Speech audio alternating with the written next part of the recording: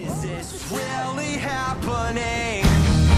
I swear I'll never be happy again. It's what you dare to we can just be friends. I'm not some boy that you can sway.